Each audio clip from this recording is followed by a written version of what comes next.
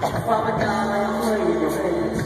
I'm gonna stay that way through all life's demands, cause they chip and they die and they pull the me. And every little thing I make up my mind to be. Like I'ma be a daddy who's in the mix. And I'ma be a husband who stays legit. And I pray that I'm an artist to rise above. The rule that is why I feel self-love.